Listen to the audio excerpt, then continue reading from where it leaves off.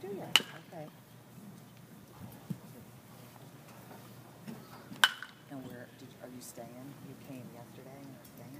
Yeah, we, uh, drove down to AC last night I flew from AC to here in the morning. Okay, because how long of a drive is it? If you would have driven. If drove.